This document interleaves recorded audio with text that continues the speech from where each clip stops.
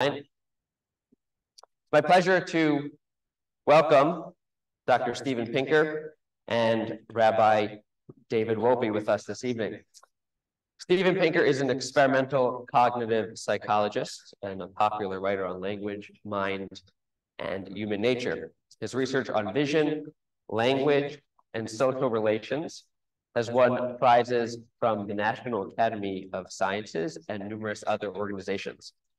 He's the author of many books, including The Language Instinct, How the Mind Works, and Enlightenment Now, The Case for Reason, Science, Humanism, and Progress.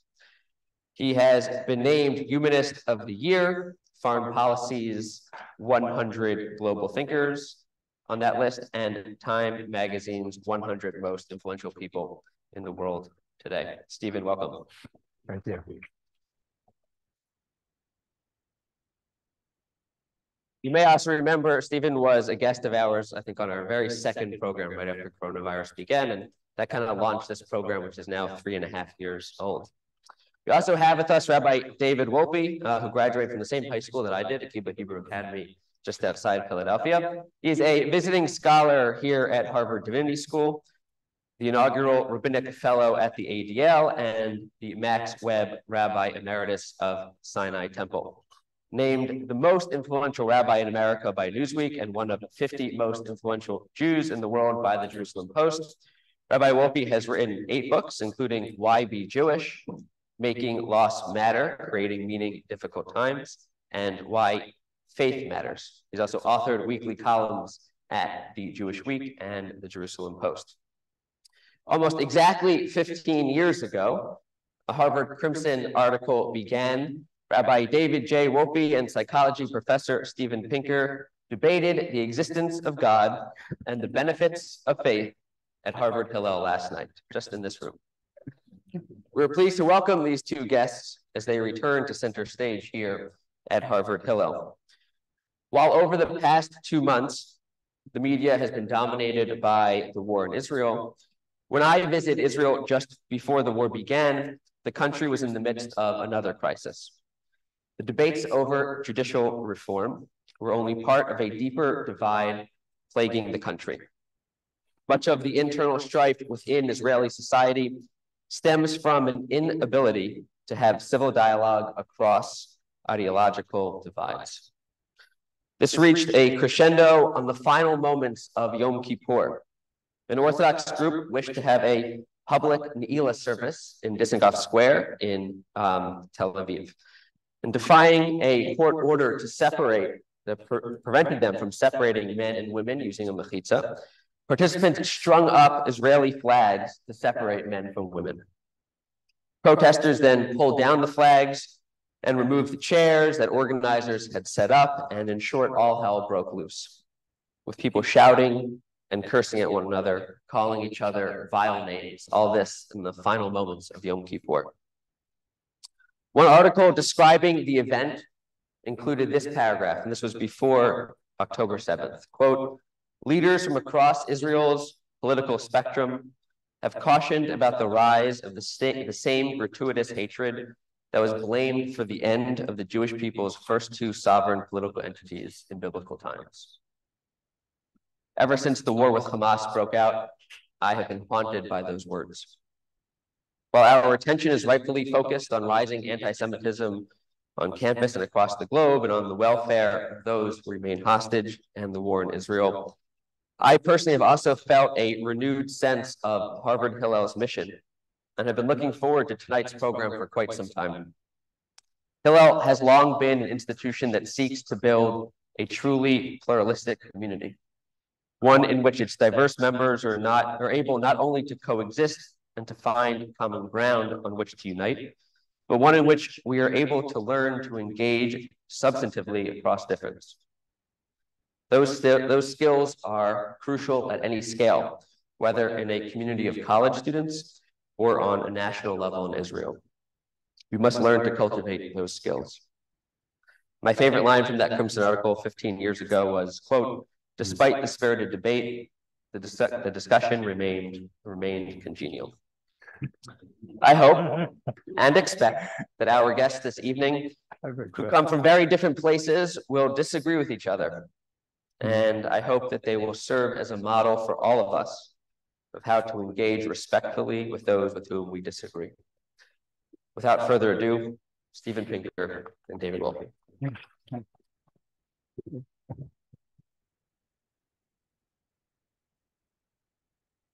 So, uh, so we agreed I get the opening toss. Um, and I want to begin actually by going back to that night 15 years ago for the following reason. About, I don't know, 10 years ago, eight years ago, I was asked to give an opening blessing at the 90th birthday of Carl Reiner. Those of you who are older will remember Carl Reiner. He was a comedy writer. He was a comedian with Mel Brooks. He was well known in his day. He had his 90th birthday party. Rob Reiner is his son. Um, anyway, I got up to give a blessing and I started saying whatever I was saying. And somebody called out from the audience, Why is there a rabbi? Reiner's an atheist. and he jumped up on stage, which at 90 is no mean feat. He put his arm around me. He said, I am not an atheist. I'm a Jewish atheist, and that's different. and and I used to tell people that I had debates with a with a variety with with Christopher Hitchens and Sam Harris and so on.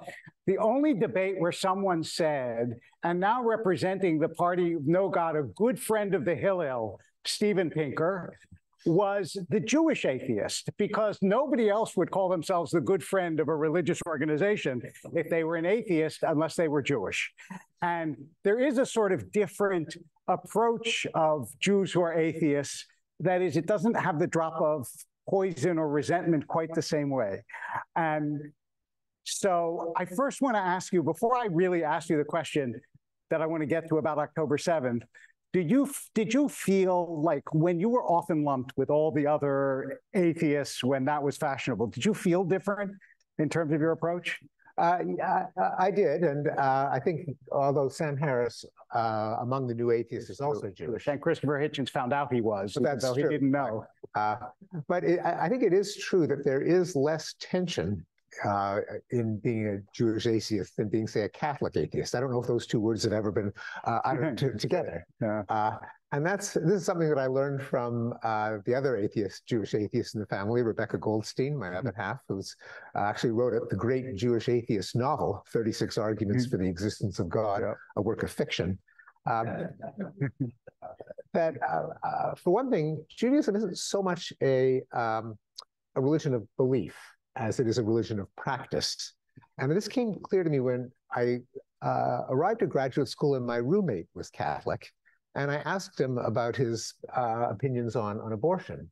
And he was kind of taken aback and he said, Well, you know, I, am a Catholic. I, I, I, don't get to have my own uh, right to an opinion on abortion. If the church is against it, that's all there is to it.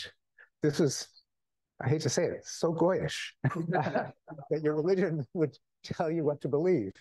Uh, and I am in, uh, you know, I suppose uh, there's a way in which I could be lumped with with you know Sam Harris and Christopher Hitchens and uh, uh, uh Dan Dennett, but I also affiliate with some of the great Harvard Jewish atheists, um, uh, which I include Alan Dershowitz and Daniel Bell, the great sociologist. And Daniel tells a story that when he was 13, he said to his rabbi, "said I've been um, agonizing over this, and I've searched my soul." And I just have to say, I've come to the conclusion that I just don't think that God exists. And the rabbi said, You think God cares? uh, and I'll, I'll, mention one other uh, anecdote is when, when Rebecca spoke at a Jewish community center in the Bay Area, uh, a rabbi came up to her afterwards and said, You know, there's nothing in Judaism that says you have to believe in God. You just can't believe in more than one of them. um, by the way, it's a wonderful novel, I have to say. Even though it, in the back it has all these arguments for why God, why the arguments for God are no good, the novel is good. Just ignore the back stuff. Just um, I said, uh, by the way, the climax of the novel is a debate. Uh, resolved, God exists sponsored by the Harvard Agnostic Chaplaincy for people who just can't make up their minds. Uh, but it was not based on my uh, dialogue with uh, with David that 15 years ago. So here, this is where I'd like to start the discussion. Um, I can't help it. I, I have a hopeful temperament, right? I mean, I, I just the other day I said to somebody, like, my character is like when you dive into the Dead Sea, I always come to the top. I like can't stay down, even though I try. But I have been smart enough not to write a book that argues that things are getting better. Because if you do that, then every time something bad happens, somebody says, Hey, I thought you told us things were getting better. My uh, I don't know. You're my antagonist tonight. Is that what, what's the right word? Um, the better half of the debate actually wrote books that argue that on the whole, for human beings, things are getting better. And so I want to ask you, when horrible things occur, did you see that as an isolated anecdotal thing? Does it in any way make you rethink the trajectory of humanity when you see how barbaric human beings can still be? Well, there, there's kind of two elements to what I've written about in, in my book, The Better Angels of Our Nature, Why Violence Has Declined, and Enlightenment Now, The Case for Reason, Science, Humanism, and Progress. So one of them is just plotting data on uh, long-term trends that most people are not aware of.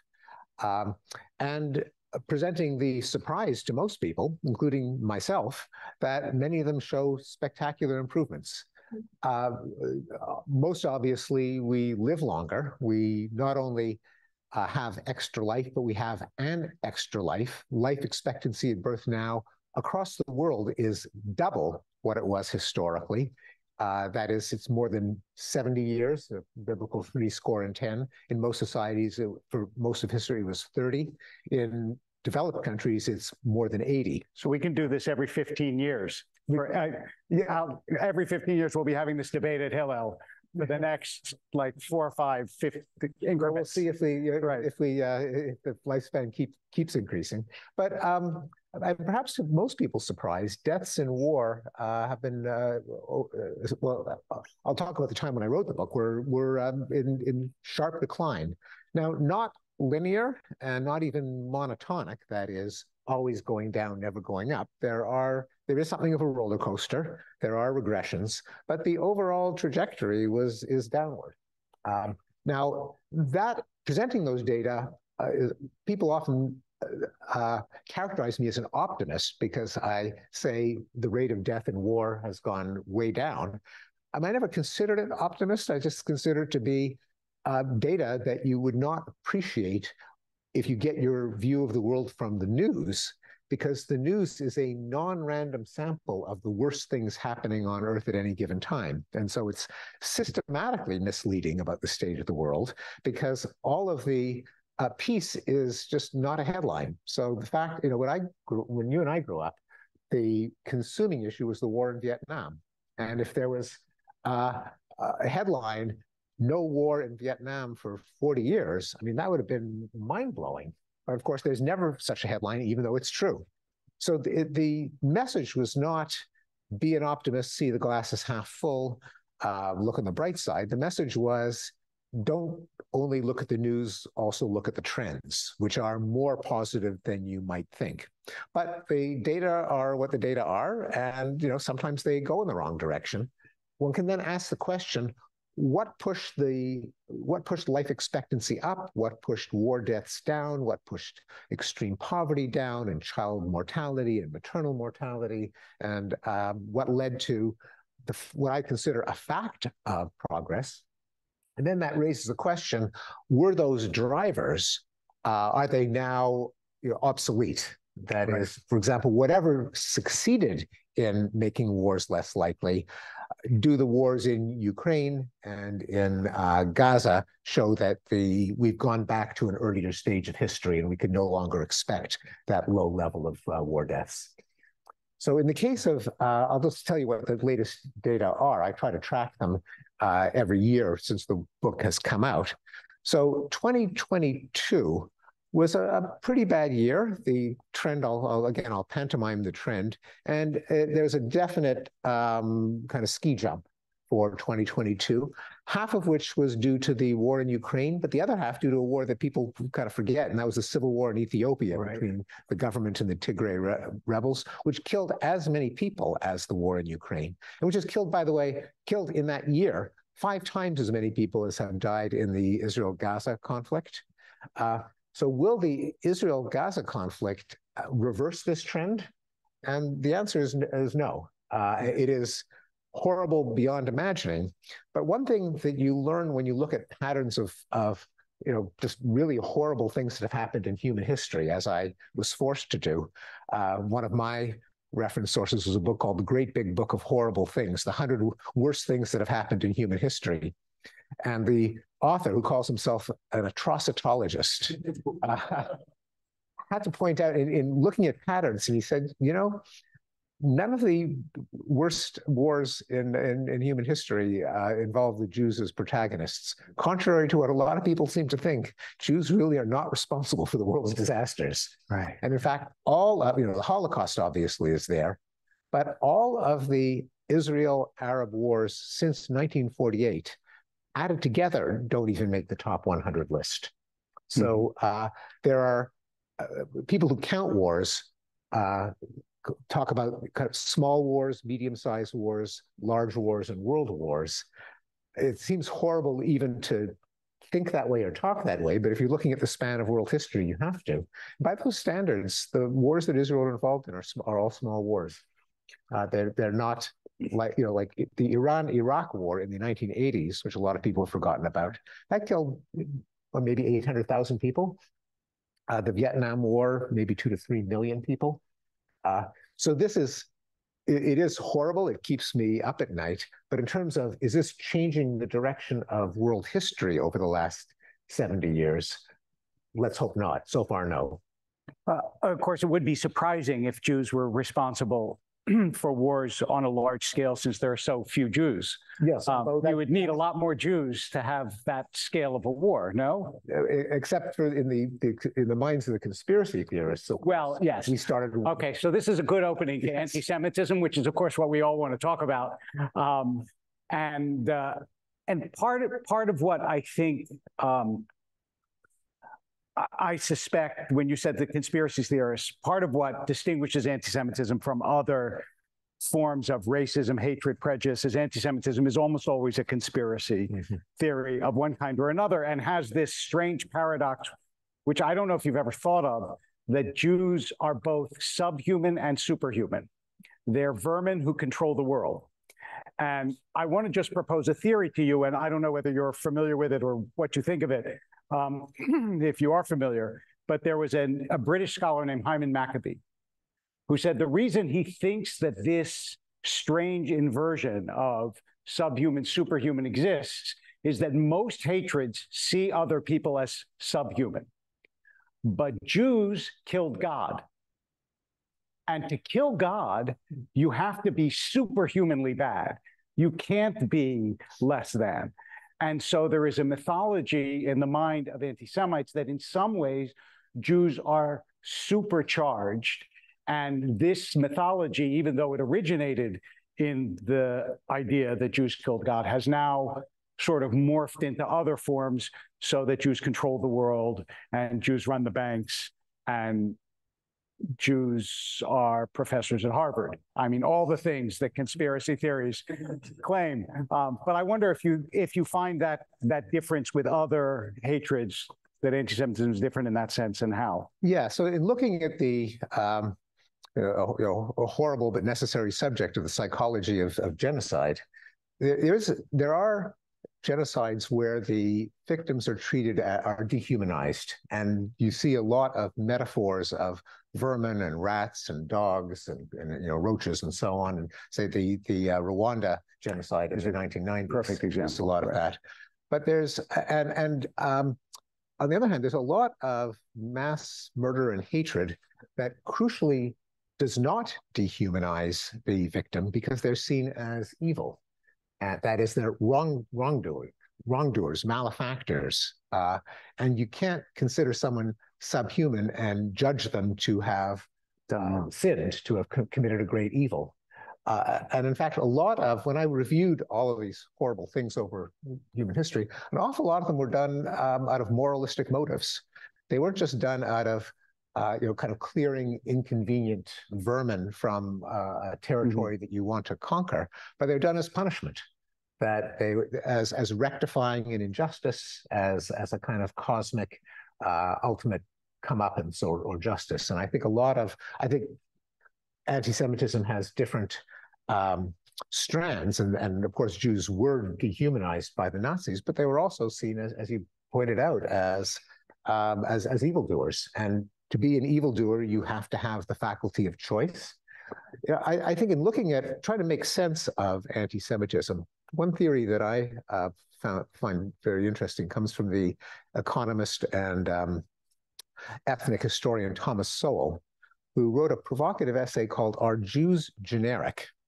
Um, asking the question why, both why has there been such spectacular Jewish success in the professions, uh, economically, in culture, in art, and all the public realms, uh, and and also such uh, murderous anti-Semitism. Mm-hmm. And uh, I, I, think if you're Jewish, you like to think about what is absolutely unique and uh, singular and almost cosmic about Jewish hatred. Right. And you know, obviously, eth- every ethnic group is has a unique set of, of, of, of, traits and histories and so on. But Sowell asked, is there, are these the patterns that we see in, in both the success of Jews and the hatred? Uh, do we see that in other groups? And he said there are commonalities in what he called middlemen minorities. So when you have ethnic minorities who specialize in economic middlemen niches, and he is an economist, uh, in um, money lending, in uh, retail, uh, in um, professions where you don't actually make stuff, you don't farm, you don't uh, you, you, you don't manufacture, you're not a soldier, but you're doing something that every economist would say is absolutely essential to the development of wealth, namely making money liquid across time, bringing together disparate buyers and sellers. Uh, you know, it's really good that we don't have to go and buy eggs from a farmer out in the right. countryside. That we have a middleman who who, who uh, uh, brings them to to um, markets. But if but the indispensability of middlemen to a modern economy you just can't have a modern economy without without lenders, without uh, retailers, is not intuitive we evolved in societies with barter, you know, three chickens for one knife, uh, where there are tangible goods that exchange hands. And for someone uh, uh, who doesn't actually bring stuff into existence, but seems to be charging uh, interest or making a profit, it, intuitively it often feels like a form of, of theft or exploitation. And so th- a lot of the hatred f- against Jews from uh, medieval times on, and continuing in the success in Jews in white collar and intellectual professions, it seems like ill-gotten gains. And he noted that though that the kind of um, hatred, genocidal hatred against Jews has been found in other ethnic groups who also have specialized in middlemen niches. The Armenians in the Ottoman Empire mm-hmm. also highly successful as uh, expatriates, notably in, in, in Boston, uh, but, but everywhere. Uh, the overseas Chinese in Southeast Asia, the Vietnamese boat people, the uh, often targets of uh, pogroms in countries like uh, Philippines and South Sea Islanders, the Indians in Uganda, famously expelled by Idi Amin, the um, Korean grocers in American inner cities, they're always kind of targeted as exploiters because they don't make stuff, uh, even though they serve an indispensable function. And they also, these groups tend to develop traits that are necessary for success in the middlemen niche, including close knit families, uh, literacy and numeracy, um, uh, an ethic of uh, delay of gratification and saving uh, for the future, which often makes them seem to outsiders as clannish and ethnocentric and gives them an identity because they tend to be from close-knit communities that make them inviting targets, especially when we fall back on primitive intuitions as to where wealth and success comes from.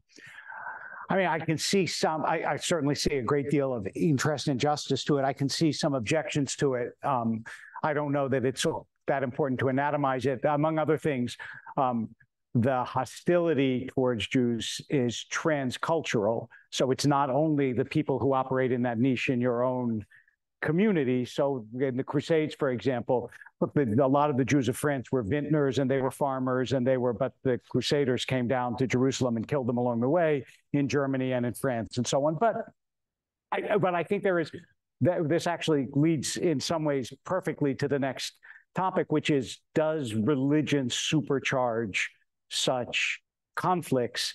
And what we had originally when we when we first planned this which was before october 7th um, what we were going to talk about is does religion have a future in the 21st century? And i think maybe the way that i would frame this to start that discussion is do you think on balance when you look around the world right now religion is more a force for evil than for good?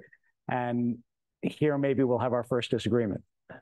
Yeah you know a lot depends on the the religion. Um, you're probably on average more more harm than good. I, I would not go so far as you're other debating right, right, yes, no, right. how religion poisons, poisons everything. Everything. you know that, mm-hmm. that that's really uh, kind of yeah. hyperbolic. Yes. Uh, but in, certainly in the Middle East, if you were to subtract out the idea that um, there was some sort of divine mandate giving all of um, Judea and Samaria right. to the Jews by a kind of divine right, and if you even more significantly, if you were able to remove the um, uh, the the belief in martyrdom, in paradise, in the perfidy of the Jews going back to the, the Quran, if all of that kind of toxic mumbo jumbo were removed, you know, I think the world would be better off. Uh, and uh, for a systematic reason, I mean, are a couple of systematic reasons. I mean, one of the, although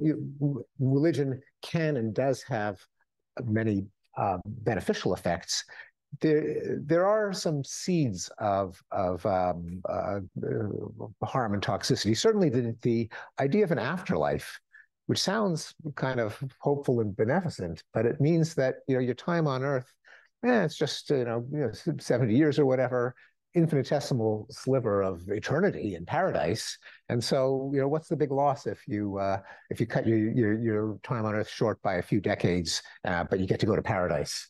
So that's that's and, and the criteria for what get you into paradise, since you know they're not, not obvious, you don't open your eyes and see them. You have to get them from dogma, and that dogma can be you know any pernicious uh, uh, criterion like like killing the Jews. Hey, let me um, let me just jump in there to say that first of the first comment presupposes that there isn't an afterlife. That is, the idea that this being a sliver of the afterlife is a terrible idea is only true if there isn't one. Yes. so I just want to point that out. If there is one, it's not such a terrible idea that this is a sliver of the afterlife. And also the criteria. I mean, look, in Judaism, the criteria is basically the balance of good deeds that gets you to whatever kind of afterlife there is. So your objection really isn't with the idea of an afterlife. Your objection with is with the toxicity of the criteria of certain traditional elements in certain religions. No. Yes, so that that is absolutely right. Okay. okay. Um, and it's uh, but it just the uh, possibility of appealing okay. to criteria for the afterlife opens the door to it being, you know, anything. It's just not obvious. Yeah, if you're Jewish, this. If you're a devout uh, Muslim, it's that. And the thing is that it's uh, it, uh, it, it can be anything that the right. scriptural dogma says it is, and that kind of opens the door to, I think, some. some is it not possible to do the same thing with life in this world? Can't you say that someone who doesn't believe that there's an afterlife still thinks that the best kind of life that you could live in this world is a life where you exercise power? I mean, the Nazis, I don't know necessarily believed in an afterlife, but they wanted a Reich that would last thousands of years. And the way to do it was to live this kind of life here in the world. So I'm not convinced that the afterlife biases towards negativity. So yeah, I think it does open the door to um, to, to, to notions. It, it, adds a whole set of, I would say, imaginary incentives, which can't be a good thing. We know that people's time on Earth is time that they have on Earth. Right. Uh, there, you don't have to have a leap of faith. You don't have to believe in what's in, in Scripture. And people live their lives, they have children, they have their pleasures, their joys, their, their knowledge. That is indisputable. And if you want to maximize that, then there's, uh, I would say, less scope for, for mischief. Okay. Now, it is true that there are other Uh, transcendent values, like the thousand year Reich, that can also do mischief. Well, I was also going to say, uh, uh, on the other hand, if you are convinced that there's no life after this and you're not going to face consequences or judgment, that also opens the possibility that you'll act like a thorough scoundrel, not worrying that afterwards you're going to have to come before, you know, the big judge, as Alan Paton has it. Alan Paton has this great phrase in, in one of his novels. Okay, this is just this is an aside, but it's really worth it. Um, it's not "Cry the Beloved Country." I can't remember the name of the novel. He says. Um, this guy says, I'm afraid I'm going to come before the big judge, and he's going to say, Where are your wounds? And I'm going to say, I don't have any. And he'll say to me, Was there nothing worth fighting for? And I always thought that was such a beautiful passage. And that conception of an afterlife actually would make one more moral as opposed to less. Well, I'm reminded of Bertrand Russell's answer to the question. I think I Yeah. gave it on the BBC. Uh, what would uh, another famous atheist, not not, not Jewish, uh, to put it mildly, um, Hmm. he said, "What will you do if you, uh, at the end, you you die and you face the Almighty at the pearly gates?" And he said, uh, Russell said, "I would say, Oh Lord, why did you not give me more evidence?" Um, but the uh, I, uh, so the thing is, if you don't believe in an afterlife, why aren't you a you know a, a, an amoral, vicious psychopath? Well, you are. I mean, maybe if you were if you were uh, uh, born without any kind of conscience or empathy, and the only thing keeping you in line was fear of consequences in an afterlife, you would need that. But most of us, having evolved as social beings, you know, do have a conscience. Moreover, we live in a society where there, you know, there are a lot of little judges. You know, they're, they're, you know, if you if you commit a murder, there are police who will take you away in handcuffs, and a judge will send you to prison. Uh, for those people whose conscience isn't enough, there are moral norms of what uh, allows you to be respected within your community of people that you want to live among. So it's true that if you were an all-powerful amoral psychopath, then maybe there'd be you know galactic overlord where you didn't have to worry about anyone ever, and you'd always be alpha overlord.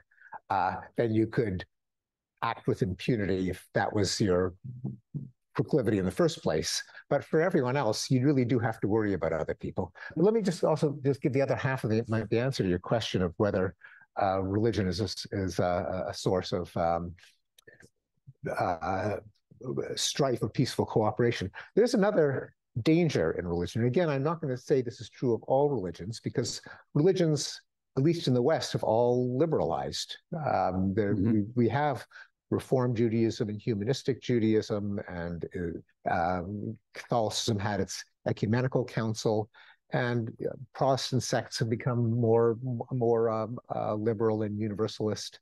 So it's not all religion, but there is a problem of uh, I think fundamentalist and uh, hardline religions, and that is that they have sacred values, things that you may not compromise on.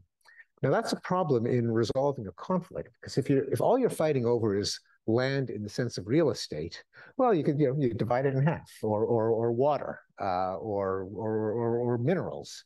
Uh, they are divisible, but if it's a sacred value, then you may not compromise at uh, on pain of betraying your people, your creed. And there is research by the anthropologist Scott Atran that um, when it comes in, and in fact, done with respect to the antagonists in the Middle East, that uh, when it comes to things like in, on the, the Palestinian side, the right of return on uh, among Jewish settlers, the um, uh, uh, possession of, of Judea and, and Samaria, um, they consider it not something that you may compromise over. And in fact, if you try to sweeten a peace deal with you know, billions of dollars of aid from the European Union, that makes them even more adamant rejecting it. Because if they could be uh, amenable to financial composite, compensation, they'd be, you know, whores or you know, quislings or or um, betrayers of values. I, I, I appreciate the in theory that that is true. A couple of things I, that we ought to be aware of about that is that almost every religious tradition has mechanisms for circumventing the things that prove to be too difficult or too dangerous or so on. And I'm sure that that's true here as well. Otherwise, you would not have peace with Jordan. You wouldn't have peace with Egypt. You wouldn't have. So it's in theory that's true. But the other the other side of this also is that um, I think that there is probably nobody here that doesn't think that some sacred values are really sacred. It just depends which sacred values. I mean, I, when King said, if you have nothing that you're willing to die for, you aren't fit to live, was he being a crazy fanatic or was he being a civil rights icon? So the idea that there are sacred values when they're sacred values you don't like, I totally agree with. I don't like the sacred values of the people whose sacred values I dislike. But the sacred values of people whose sacred values I like, I think are terrific. Um, and, and I suspect that you have things that you would say are worth dying for as well, which I don't know how you distinguish that so much from a sacred value. Well, it would be, uh, yeah, I don't know if it would be a sacred value. It would be a, a, you know, a trade-off that under some circumstance I'd be willing Would to be make. willing I'd to. be willing to sacrifice my life to save the lives of my loved ones. But by the way, this is Bertrand Russell. To go back to Bertrand Russell, this was exactly when they asked him, is there something that he would die for? He said, of course not. After all, I may be mistaken. right? Which is a funny line, but it doesn't inspire a lot of respect for moral character if he really meant it, right? If there was nothing that he'd be willing to die for. Yeah, well, I think there would, but it wouldn't. I don't know if it would be for some value that may not be breached, uh, so much as it would be for the the the the trade-off, other people's lives as opposed to my life. Uh, and you know, we do, we you know, human life is sacred, but on the other hand, uh, we do believe that some wars are just wars, knowing that Right. people are going to be killed. Right. We make compromises in public safety. We don't spend infinite amounts of money on you know highway overpasses, knowing that saving uh, money by foregoing a highway overpass will mean statistically there'll be some deaths in the future. Right. So I think we we and this is an, a, a- an interesting feature of human psychology that we can, as you say, Yeah, a lot of religions, particularly ones that have a rabbinical tradition, Yeah. uh, where you can, in practice, question the sacred values by, you know, a little. We believe in overpasses, basically. Yes. Yes, Um, um, but uh, you can have the mindset of uh, you may never compromise, and then when you're kind of forced to it, you can often think of workarounds. So this is, again, you've led me exactly where we want to go. Um, very skillful, uh, which is human psychology and how it is that people. Um, I, I want to ask both about mob psychology, that is how people manage to do. Let me take a step back. Like, I don't believe that everybody who carried out that Hamas massacre started out as a horrible human being who then carried out a massacre any more than I believe that every Nazi started out as a horrible human being. And then all you had to do was bring them to the camp and you had a pre-made Nazi. So, um, and, and I'm going to downscale this in a minute very much to ask you about illiberalism in general and, and the illiberal mindset that seems to be part of our political culture and so on. But I want to start at the highest pitch of this illiberalism and ask you what it is that enables human beings who otherwise would be, you know, shopkeepers and merchants and and I don't know, uh, potato growers to become monsters who do horrible things to other people with either glee or without a or without a qualm. Yeah. Yeah, it's a, a- fascinating question and probably has more than one answer because there are multiple ways in which people can commit violence. Right. There's a kind of violence that people commit uh, as long as it fits with the norms of being a decent person in their society. And it's often been pointed out that you know, it's unlikely that every slaveholder was an evil psychopath. Right. In fact, we know they weren't because some of them were actually in the rest of their lives perfectly fine people. You know, George Washington. Uh, but that's just what people did. And it, it has also been pointed out as a way of kind of shaking us out of our own moral complacency. It's conceivable that our descendants will look back on people who eat meat from factory farms Yes. as being uh, you know unconscionable. I, I think for those of us who are not vegans, just don't think too much about it. It's like, well, no one thinks I'm a, murderer if I eat a chicken sandwich. Yeah. And so, you know, I don't think of myself as a murderer. As a vegetarian, I want I want to just share with you. Jonathan Safran Foer has a wonderful line in his book Eating Animals. Um, he says, "You can't wake someone up when they're pretending to be asleep." Yeah. so you know when you eat meat, you know what you're really doing, but you don't want to know, so you pretend to be asleep, which is not exactly the same as you're describing, but it is true. Interesting. So, yeah. so, I think there's there's that. There are the norms in a uh, um, in a given culture. I mean, it's almost it's we kind of related to um, uh, you know, Hannah Arendt's concept of the banality of evil, which mm-hmm. turns out did not apply to Eichmann. Uh, right. Uh, he actually was a, uh, ideological uh, zealot and a vicious anti-Semite, but the concept has some psychological uh, validity. We know that from some of the classic demonstrations in intro psych that I teach my students every year, such as the ex famous experiment by Stanley Milgram, right. in which people uh, thought they were delivering lethal shocks to an innocent uh, fellow volunteer uh, just by the pressure of the social situation, just getting along and doing what seemed natural uh, at the moment.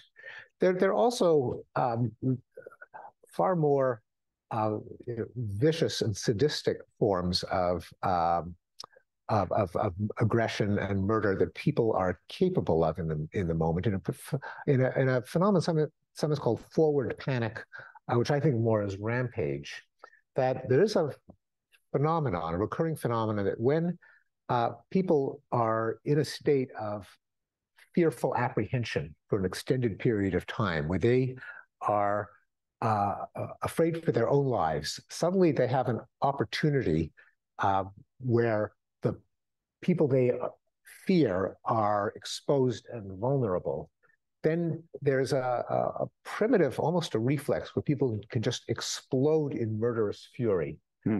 uh, and just fall on on the the victim or victims, and a lot of um, atrocities and massacres and pogroms uh, are, have this some, sometimes called a mob psychology, where the release from fear leads to a, a rebound of ugly uh, aggression. The Rodney King video is an example for those uh, of something that you, people often saw in real time from right. the, the video. Um, and that's a, a, second phenomenon of uh, that takes place over the span of, of seconds or minutes. So, um, as I said, I want to descale it from the from the explanation of terrible mob psychology to um, there has been, I think, without question, in the last, I don't know, 20 years, maybe a little bit less, um, an increasing, not just uh, polarization is not really an adequate word. There's been an increasing viciousness of rhetoric. When I was young, if you asked someone, would you be okay with your child marrying somebody of another race? Most people would say no. But if you ask them, would you be okay with your child marrying somebody of another political party? Most people would say yes. Now it's exactly reversed. Most people will say another race, sure. Another political party, no way. Which, by the way, is both uh, a, it's both an encouraging and a discouraging statistic. In some in some ways, it's very good, but in other ways, it it shows that the discourse has not only gotten more polarized, but our conception of people who think differently than we do has been um, our conception has been almost weaponized so that we think of them as evil as opposed to mistaken, and their difference from us much greater than it was when I was young. And certainly the college campus is a almost like a laboratory of this um, phenomenon. And I know that you have uh, both written and spoken about it and even organized about it. So I don't expect a monocausal explanation why questions are always overdetermined. There's always like lots of reasons why, but give us a good reason or two why this has happened. Yeah, why has it happened in this uh, in this direction? And and you know, and as you point out, paradoxically, there is massively more tolerance in some dimensions, right. you know, such as race and sexual orientation. Yeah, where uh, you know, in our lifetimes, there's been a revolution Huge. how Huge. Uh, gay people are, are treated. Um, uh, but at the same time, the political polarization has increased, and it is um, pernicious and uh, it, it, leads to um, easily documentable defects in reasoning, sometimes called the my side bias. That is, you uh, direct your reasoning abilities to whatever conclusion makes your side look good and the other side look stupid and evil, where your side could be religion or political party or hockey team or uh, ethnicity. Uh, By the way, this side of the room.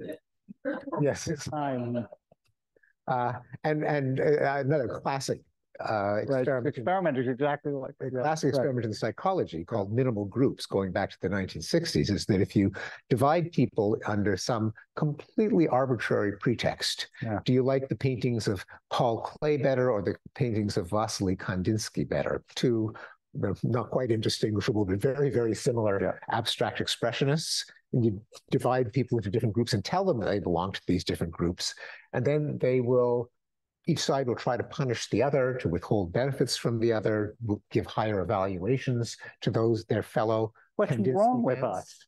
What's wrong with us? And in, people will, uh, if you give them logic problems, uh, will uh, that are politically tinged, like affirmative action, like capital punishment, um, like uh, gun control. People will, including very intelligent people, will make statistical and logical blunders in order to affirm that a conclusion that is congenial right. to their political side is right. That name, for example, that gun control reduces um, uh, gun violence. Mm-hmm. So even statistically sophisticated people presented with evidence fake data. I mean, a hypothetical study that shows that that gun control does not reduce gun violence will look at those numbers and insist that that uh, that they do, and vice versa if you're opposed to, uh, to uh, if you're in favor of gun control. So it's it's it's a. So why does it happen now? Uh, so part partly in college campuses, a lot of it has been uh, kind of intellectualized in terms of the ideology that there are um, oppressors and victims. And so people are, this is actually actively reinforced. And I think we're seeing that now in the kind of screwball idea that um, that, that uh, in, in, the Middle East, the Palestinians can be analogized to, you know, to, to slaves, to sub-Saharan Africans, and the Israelis to Victorian colonists. I mean, historically, this is cockamamie. Right. But if you have a uh, uh, if the way that you divide it is not Kandinsky fans and Klee fans, but rather um, uh, you know colonizers and oppressors versus you know, marginalized victims, then you can follow. And colonizers cannot be victims. They cannot be. They can only be right. They can only, and they can only be perpetrators. Right. Yes. Um, a common answer is is social media, although I don't know if that's really uh, a big driver. In terms of the left right, the red state blue state divide, the the the the, uh, um, the conservative uh, liberal.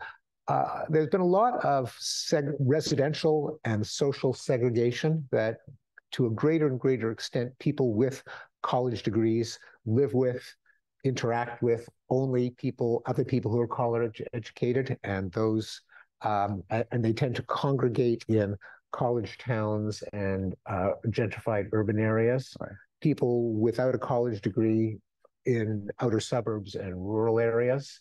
And the institutions that used to bring people together across the education and class lines, like the army in the age right. of the draft, like um, uh, uh, church attendance and when people were more church going, right. like service organizations uh, bowling leagues have uh, have weakened, leading people's main centers of affiliation to be people with the same educational and socio socioeconomic background, professional, urban, educated versus rural, uh, small business and and uh, farmers, uh, and that sociological, socioeconomic gradient maps very closely to the political gradient Donald Trump, for example, did not win any cities. Uh, and there was a, a, blue to red gradient from cities to suburbs to outer suburbs to rhuburbs to rural areas.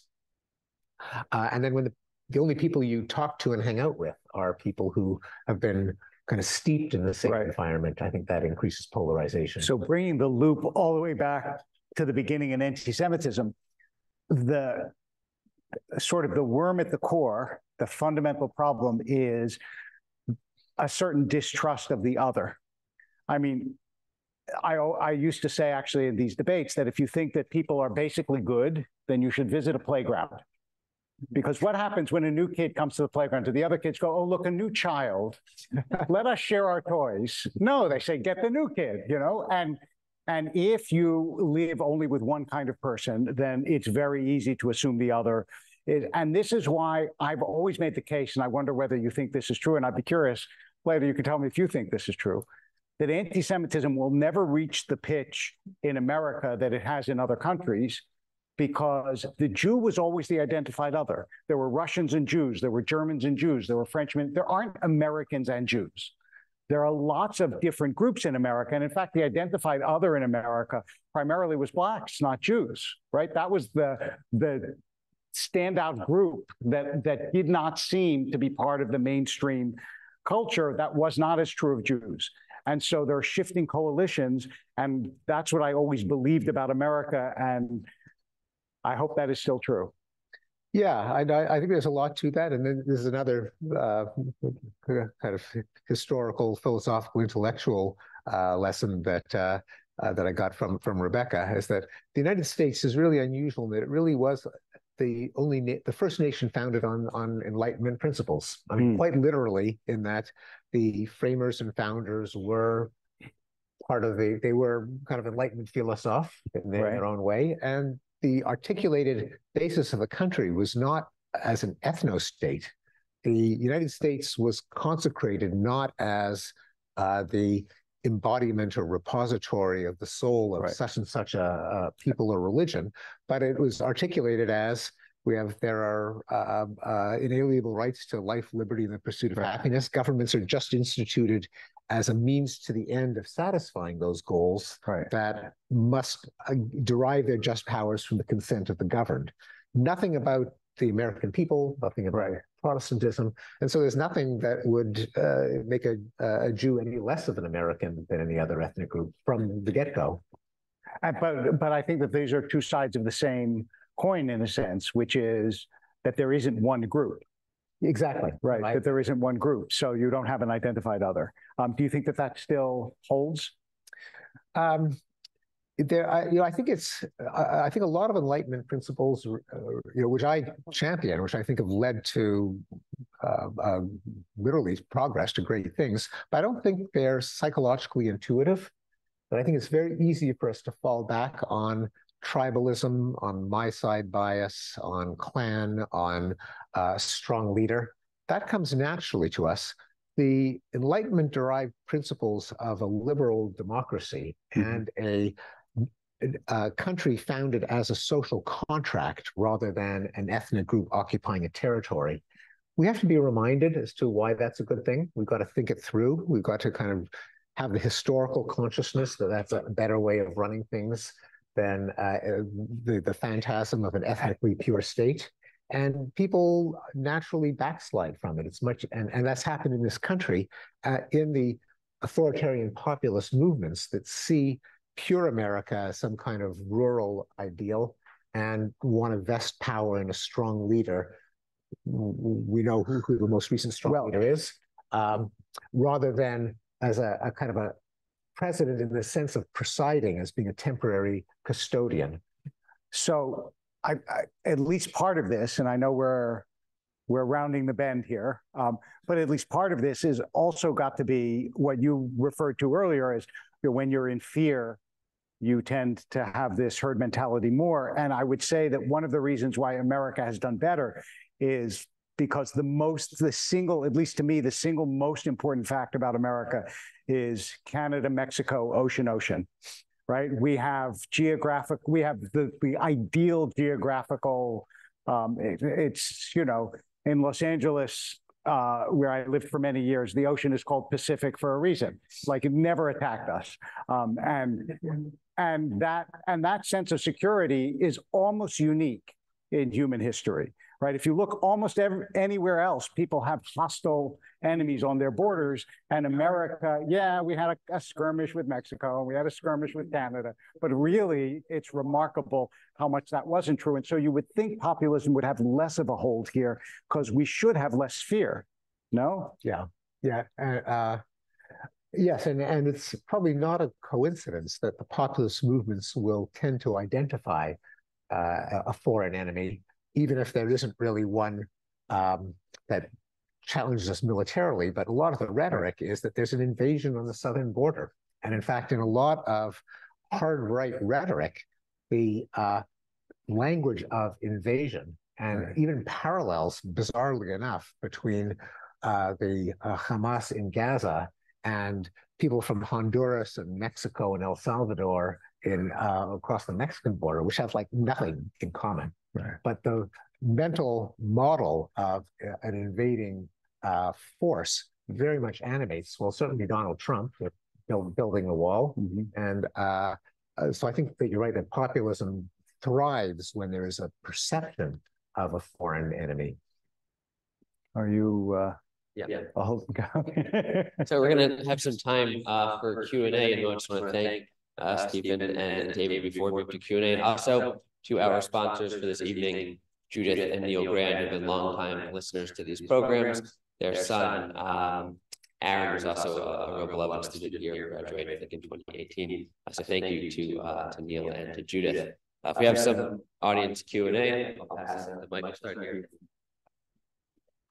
Uh, thank you so much. Uh, so so interesting. I wanted to ask. Um, it appears how um, American Jews' success in America is largely um, it can be attributed to our kind of affinity to our ability to succeed, succeed in this liberal environment, this liberalism environment, um, kind of in the wake of October 7th and with the rising polarization, kind of, I think Jews are finding themselves in an interesting environment alongside these kind of new age liberalism ideals. Um, and so kind of how would y'all place the like the trend of Jewish America alongside the liberalism trends in America? Kind of where do we go from here?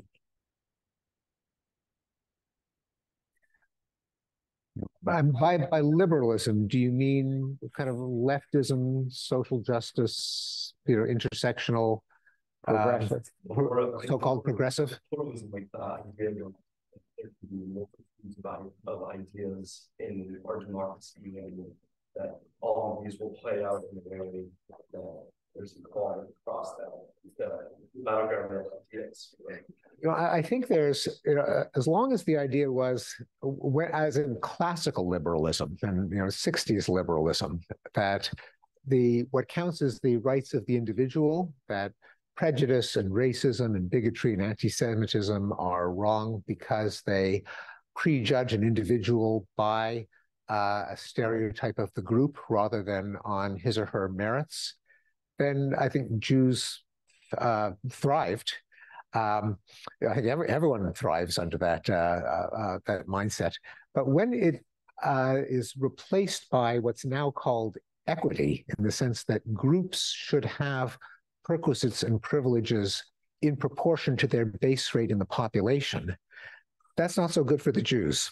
Right. Because when you do the math, Jews are kind of overrepresented in uh, kind of a lot of arenas of, of public life.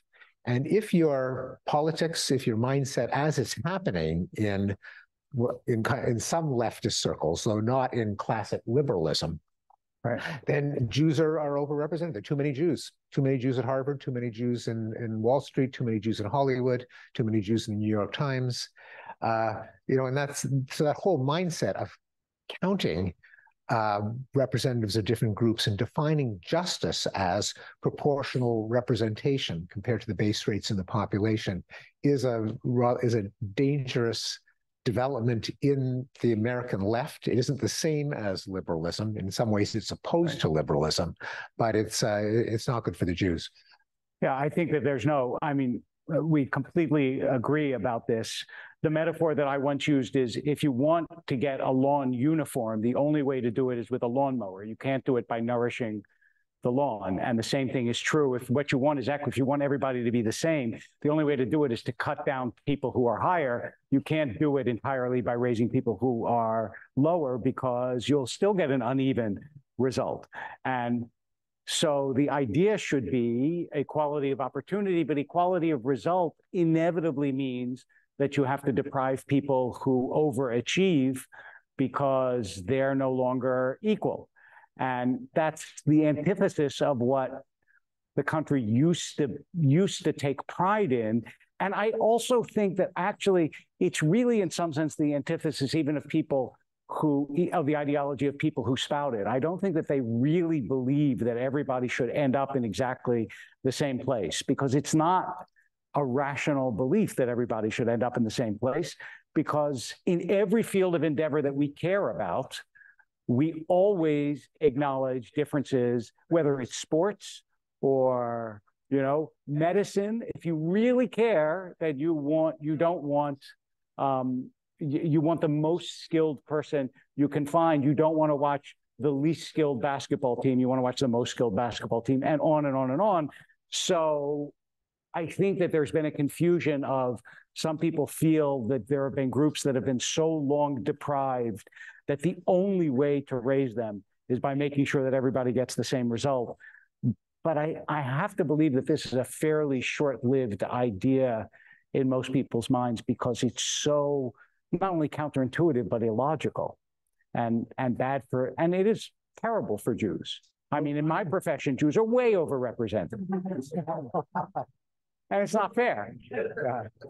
But, you know, it is, you're, you're right that it is I mean, it's illogical if you, uh, in the sense that it's inconsistent, the, the idea of proportional group-wise representation right. is illogical if you believe in things like you know merit and truth and objective reality.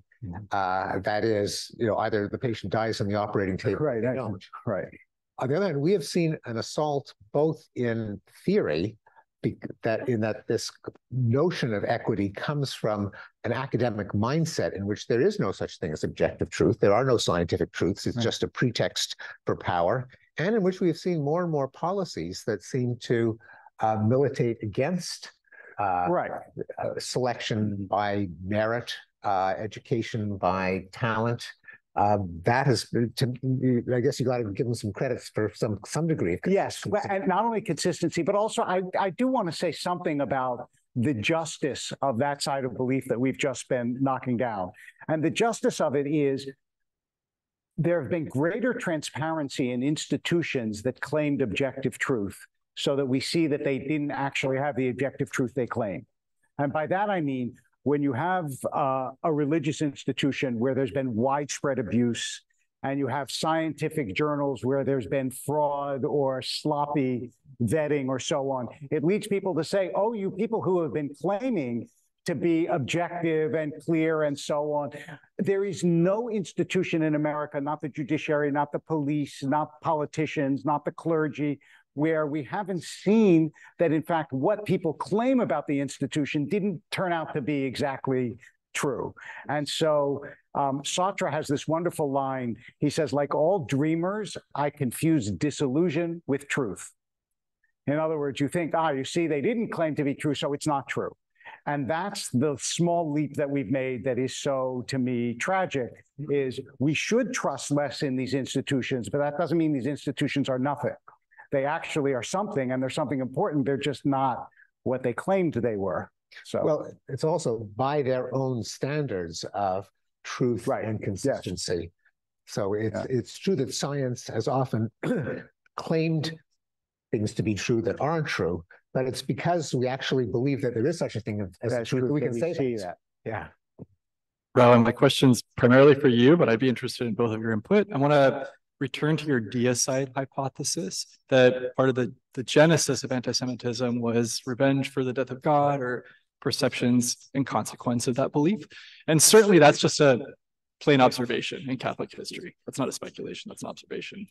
But I'm wondering if you can clarify, are you saying that that somehow infused into Muslim culture to Infused. I'm sorry. infused into Muslim culture to precipitate anti-Semitism there? And if so, could you just point to some periods or pathways for how you see that infusion absolutely. happening? So, um, there has been, there is, so part of the problem with the Jewish-Christian relation throughout history is that Judaism and Christianity were the same, and it was a family fight. And family fights, as you, as I'm sure you know, are sometimes some of the meanest, right? And that would have been okay were it not enshrined then in a sacred book and it lasted forever, right? That was the real, I mean, I know this is a simple way of explaining it, but that was the real problem. Had nobody written the New Testament, they just had a fight and then they made up, it would have been okay. But wait, wait, wait, wait, wait, wait, I'm getting there, I'm getting there. Something of the same thing happened with Muhammad, although not exactly identical, which is Muhammad assumed that the Jews would convert, and then they didn't, and so it's in the Quran as well. So in the Quran also there are very negative comments about Jews that fueled some Muslim anti-Semitism. However, for most of history, Muslim anti-Semitism, while bad, was never as toxic as Christian anti-Semitism until the 20th century. And in the 20th century, as there were more, especially in the time of Nazism, when the mutual enemy was the British and Western culture more infiltrated um, first Ottoman culture. Remember, the British took over from where the Ottomans were, and Christianity and Christian stereotypes and protocols of the Elders of Zion, which was a Russian Orthodox, right, um, uh, forgery that the Jews were taking over the world. All of those things began to infiltrate the Muslim world, such that now in Jordan, in hotel rooms, you can get copies of the Protocols of the Elders of Zion. So I would say that the the deicide Christian like supercharging is really a function of the 20th century, but the seeds were there already because we rejected Muhammad, which is not quite the same as rejecting Jesus, but it still sort of paves the way for that possibility. So we are still the ones who didn't, we're still the ones who said no. And and as you know, people don't like people who say no to them generally. Thank you very much. Small comment and then a question. Uh, in defense of Bertrand Russell, if I remember my chumash right, didn't Moses say, "Tain liot, give me a sign"? He he, he wanted more Yeah. more proof. Yes. Uh, but the question is this: Your observation was very good about America not saying, "Well, these people are not American." However, the effect of Israel and the the uh, charge of dual loyalty may be stemming. So, could you you know talk about how Israel and the American Jewish reaction to Israel may have been stirring up or being an excuse to re- revitalize the anti-Semitism? I mean, that's how Jews felt about it, right? Remember that Jew that that we forget this now, but uh, early in the 1900s, Jews were by and large not Zionists because they wanted to prove the loyalty to the countries where they lived. Um, and that wasn't only true in America; it was true in a lot of places. It was true in in even in France, so, um, and certainly in Eastern Europe. So, it yeah, it's. Uh, uh, we all have multiple fidelities in life. We we just do. There's no person who has fidelity to only one person, or I think there's virtually no one who has that. Like you have fidelities to different fidelities to brothers, to children, to parents, and so on. Um, but we don't like that when it comes to countries. We want people to have the same fidelity that we do. So yeah, there's a certain ambiguity in saying I I I'm an American, but I love this country, um, especially when someone else doesn't have another country that they love. But even given that, there are a lot of other groups with a lot of other kinds of problems in America. So I don't think Jews are unique in having, you know, and having group problems that that make them stand out. You discussed this uh, mentality and this argument of oppressor and oppressed, colonizer, colonized. That's become so common on, on campuses as an argument. What have you found to be the most effective responses um, to that type of application of that thought to the ongoing conflict in Israel? What, what have you found to been, be useful responses and argument? Uh, So I, I can't say that I, from experience, that I have persuaded people out of that mindset, and uh, you know, not, yeah, and you know, not everyone is persuadable of everything. So I think the question might be, you know, the diehards probably can't be persuaded, but you know, new babies are being born all the time, and they're not born, you know, postmodern intersectional social justice warriors, and so one can hope that to con persuade the people who have not yet been persuaded. So certainly a lot of the, you know, just a, a, lot of history, but not least the history of the area that was called Palestine. Namely, there never was a Palestinian state. Jews were there thousands of years ago, always had a presence. It was uh, colonized, if anything, by by the uh, well, by the Arab, the Ottoman Empire, and then the, uh, the, the whole history that we're all familiar with, but that not everyone is familiar with uh, the fact the fact that um, uh, that, that Jews were um, kind of almost ethnically cleansed from a dozen uh, Muslim majority countries in the late 40s and early 1950s. Um, the uh, so the full historical picture can't hurt for those who aren't already committed, and the the, the fact that the um, you know also the fact that so many of virtually all contemporary Muslim majority countries are not democracies, that they are um, far more misogynistic, far more homophobic in law. This is not a slur. This is just the, the law of the land in these countries. Uh, many facts like that that that upset this uh, would, what ought to be a rather fragile understanding in the world in the first place because it is so contrary to historical and contemporary fact. So the beginning of Steven's comment reminded me that, that Hannah Arendt, who was invoked earlier, said in every generation, the world is invaded by barbarians and we call them children. And you, it's true, you have to civilize people too. So it's true that the, the idea that there are always new people coming into the world should give us all hope. Um, the other thing I would say is when you ask what arguments have you found successful, I would change the premise of the question and say what I have found most successful in the course of lots of years of listening to people is listening to people. And instead of approaching somebody with the mindset of, if I just give you, I mean, all the arguments that Steven said are true. They're all true. And yet, as people are impenetrable often to arguments, unless you show them that you actually care about what they think and want to engage them in a dialogue. So I would say my first my first impulse when somebody wants to discuss an issue is to actually listen and ask them why they believe what they believe and ask them as many whys as I can until I give them because uh, jo- my friend Joseph Epstein said Jews don't listen they wait. And and if all you're doing is waiting then you there's no way to persuade someone you know I was just going to follow up on the last question. The the whole oppressor oppressed dichotomy um, and the settler colonial white or white adjacent Israelis um, oppressing the Palestinian people of color. It seems like that's really the essence of what's infused academia in the United States right now. And, and liberal culture in the United States, of which a lot of Jews, um, you know, are sympathetic to or consider themselves liberal. I always considered myself a liberal thinker. They keep moving the goalposts. And I would like to hear from both of you. What, what are we going to do about this? It, it isn't merely mm-hmm. looking back and saying, yes, we're all on land that the colonialists stole from someone else.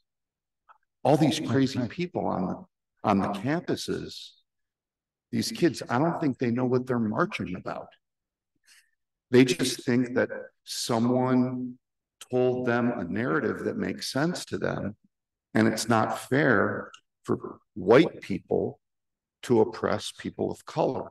That's the American version of it. It doesn't apply to Israel as you mentioned, Professor. But it is putrid and it is everywhere. What are we So I- gonna, what are we I gonna do I- about I just, I just want to, um, the caveat of it is, when you say it's everywhere, it is very prevalent on elite campuses in America, but it is not true that it is everywhere on campus. It is not true that it's everywhere, even on elite campuses, trust me, um, because I speak to a lot of students. And a lot of campuses don't have this narrative. And when you take polls, even though sympathy for Israel is certainly lower among younger people than it is among older people, it's still higher than it is for Palestinians, even among younger people. So this goes back to we always see the narratives of conflict and the narratives that don't have conflict we never see. So at least I can give you a certain amount of hope to say there are a lot of people out there who don't actually buy into that narrative, even though there's many and many influential people who do. And when you say, what are we going to do about it? The, the, I, at least part of the answer is, you know, all the things that we are seeking to do, but it is very difficult to change someone's belief about their a story that they think is true. The last thing I will say to give you hope before um, before Steven actually tells you how we can change it um, is is about about three weeks ago I was speaking at a synagogue, and we were talking about this. I mean, because every discussion sooner or later gets to this, and uh, this guy gets stands up and he says, "Listen." In the 60s, I was a member of the SDS. Those of you who are too young to know what the SDS is, they were the most radical of the most radical. Like they were the bomb throwing Weatherman, Black Panther, um, groupie. Like they were really, really left. They were as left as you could get. He said, and now that I'm older, I'm really ashamed of the things that I thought and I said. He said, and don't assume that what someone says when they're 18 or 19 or 20 years old is necessarily going to be what they think when they're 25 or 30 or 50 or 80. And God knows I would not want to be judged by everything I said when I was 18, but thank God there was no social media. So you don't know what I said at 18. Um, and that's a problem. Yeah, I'll, I'll, I'll echo the, the first part of what David said in that there is, there are, there's a lot of diversity, shall we say, within, within and among universities. So the, um, the hardcore, you know, intersectional critical theory, social justice warfare characterizes some departments far more than others, right. uh, and far more in the humanities than in the sciences or engineering or economics, more in public health than in medicine, more in divinity than in uh, than anywhere. Than, than anywhere uh, sorry, they, Often, they often tend to make, them, uh, make the most noise in the um, administrators in the at least in the past by administrators i mean not just the diversity administrators and human resources and and uh, uh, mid-level administrators but the deans and presidents have tended to uh, indulge them. Uh, they're often the most vocal and articulate people on campus. Uh, i think a lot of the university leaders are realizing that just making nice with the, these factions has um, led to some harmful consequences for the reputation of the university in the public at large and uh, and, uh, and among donors. Uh, so there, even if it's just articulated at the top, that there remains a commitment to seeking objective truth, to historical fact, to not just demonizing and dichotomizing, that could kind of tamp down the uh, the, the impression that the most radical factions on campus speak for the whole university. And I think there is going to be a reaction as university leaders, not least our own, have found themselves in trouble by just kind of making nice to the, uh, the, the, the radical factions on campus. We'll have to start drawing some lines and and and being uh, clearer as to what the university principles are. Quick follow. I'm a student at the School of Public Health. I'm a degree and I was subjected to a presentation by the Palestine Center for Health and Human Rights. Is not a student group. This is a Harvard sponsored educational center at HSPH. It was the most hateful, anti-Israel, anti-American hatchet job. There was no research presented. They told about one eighth of the history of the formation of the state of Israel.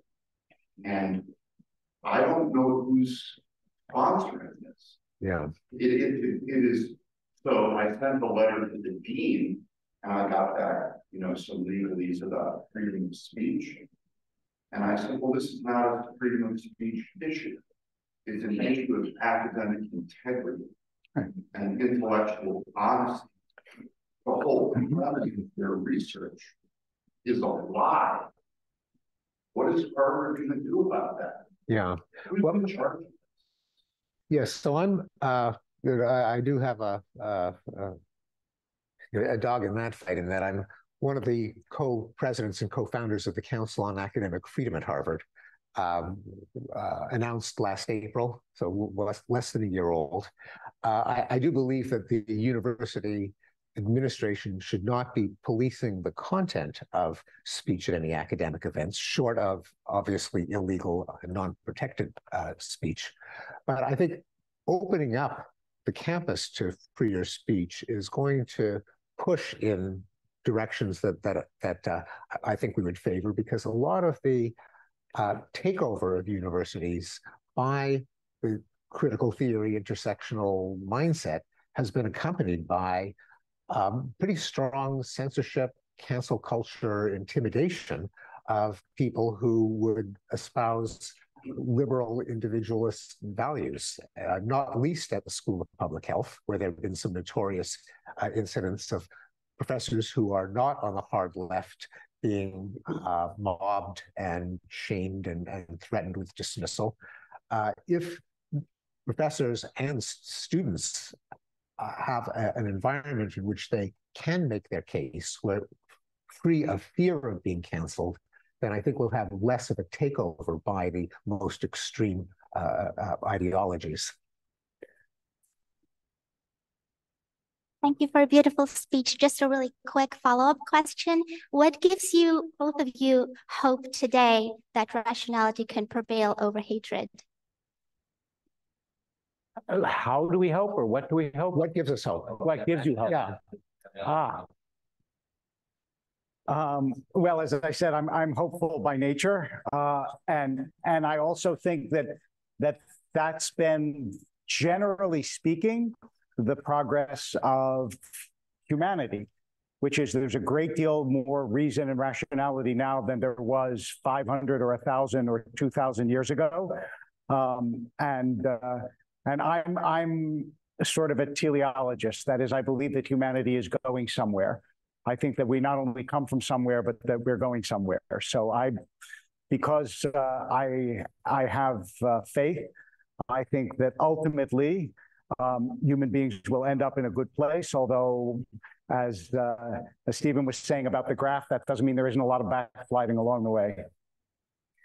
Yeah, I, I would tend to uh, share the, uh, I guess, a kind of long-term optimism, although as someone with a scientific mindset, I you know kind of recoil from any kind of teleology for the for the for the world, for the universe, for humanity. But I do think there that if one drills a little deeper and asks, why has there have there been some historical trends that really do work in the direction of both rationality and universal human welfare?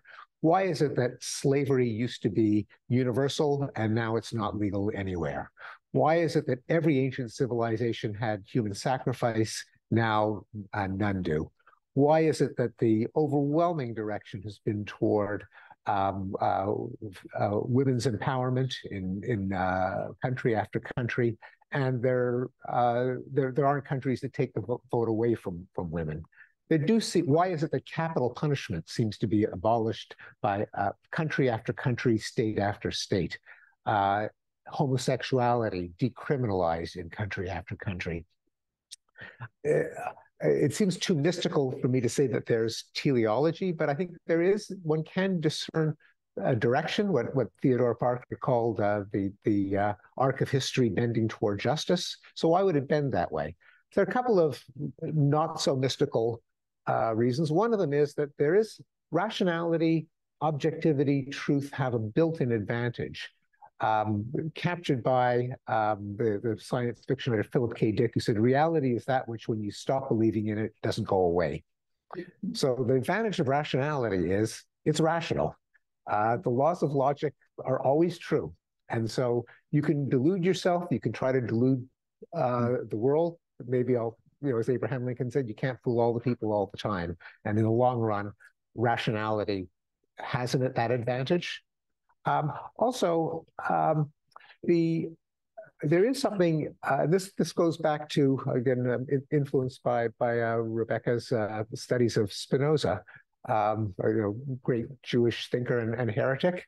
Uh, once you are committed to reason, there is a directionality in terms of your notion of human rights um, and human welfare. Namely, on rational grounds, you can't claim that you're special just because you're you and other people aren't. At least not if you have to interact with them, which we increasingly do in a more globalized world.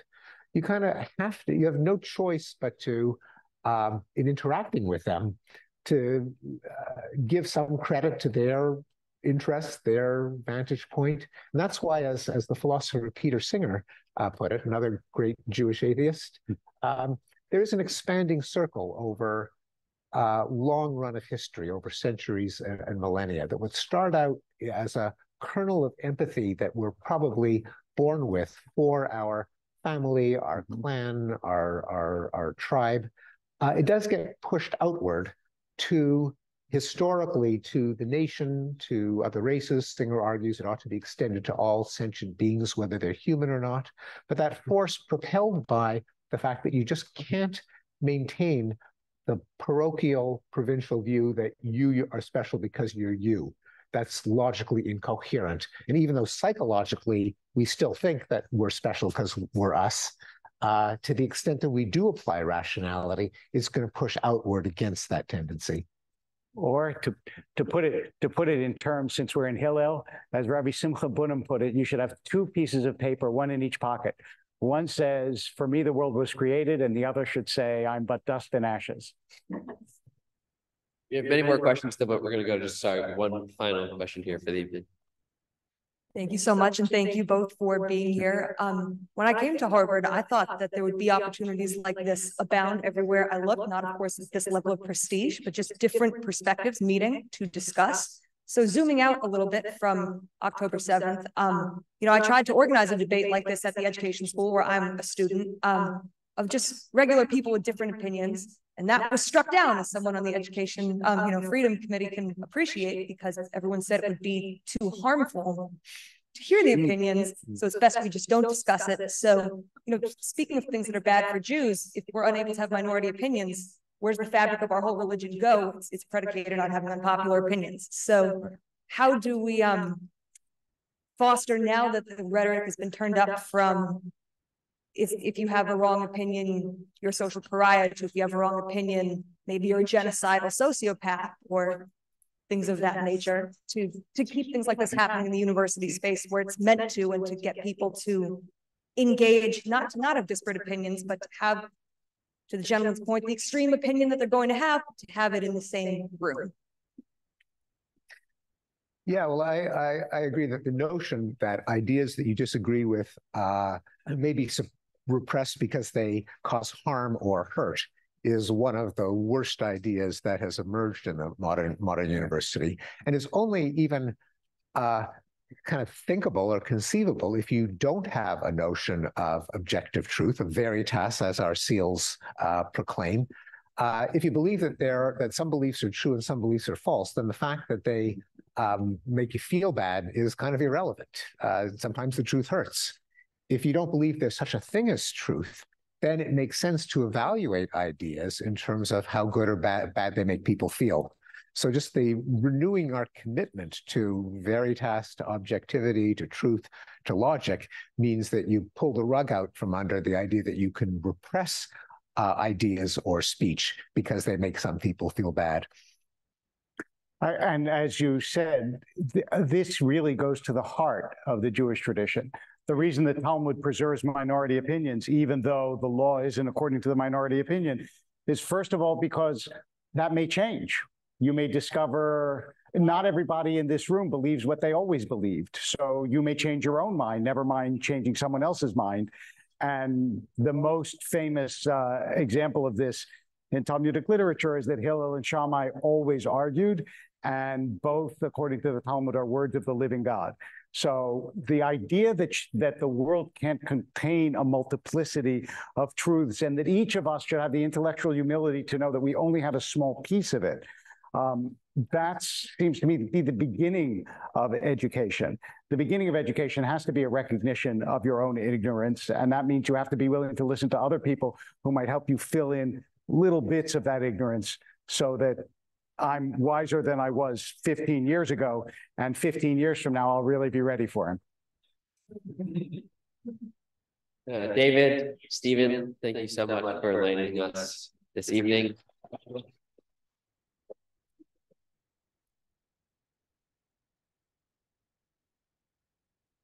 We'll do it again in fifteen years, if not sooner. Uh, thank you all so much for joining here in person, for those online, and have a wonderful evening.